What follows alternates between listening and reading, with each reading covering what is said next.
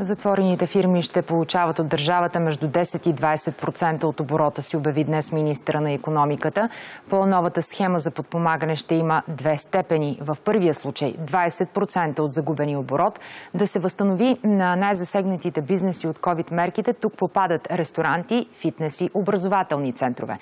10 на 100 да бъде подкрепата за търговията. Междувременно, междинни резултати от проучване на Стопанската камера показват, че антикризисните мерки получават неодобрението на 68 на 100 от бизнеса. Половината от фирмите казват, че не са ползвали нито една мярка, 41% се оплакват от бавни процедури, а 35 на 100 виждат като проблем бюрокрацията.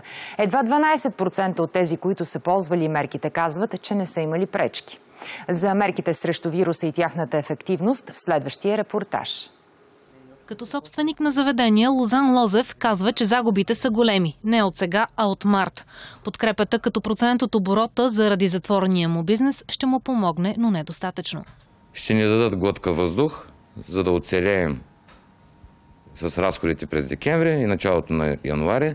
Ще покрият част от загубите, но в никакъв случай няма да покрият изцяло средствата, които ще дължиме. Очаква се кандидатстването по новата мярка да е възможно до края на другата седмица.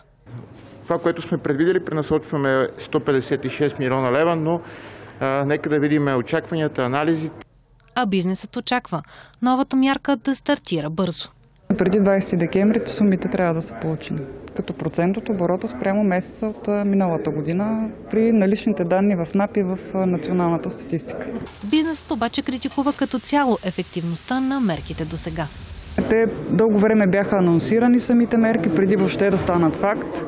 Администрират се от различни институции, което означава различни правила, различни процедури. Мерките са много закъсняли като реализация. За подкрепа на предприятията до момента са разплатени 173 милиона. Обявени са милиард. Някои от тях вече са преразпределени преди изобщо да са стартирали мерките.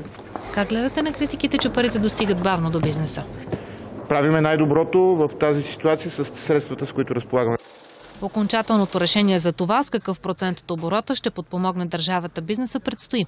За битиви новините Румяна Стоилкова.